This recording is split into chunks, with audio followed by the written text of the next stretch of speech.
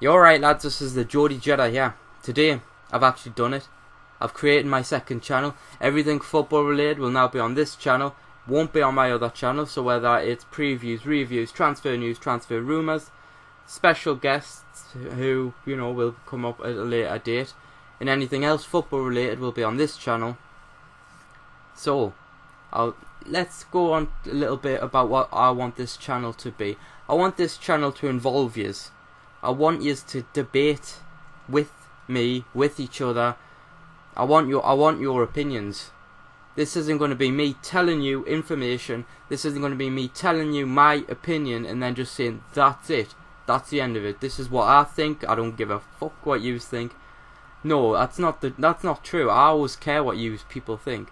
I always read every single comment from on my other channel from all of your subscribers, whether it's criticism, whether it's praise whatever happens. So this is what I want you to do. I want you to comment and battle us a little bit. If you think I'm wrong, tell me. And obviously explain yourselves. Don't just say you're wrong and then not give us a reason why.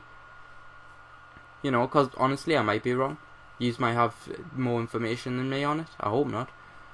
So, this has been the Geordie Jedi on the new Geordie Jedi football channel. I'll see you in a bit.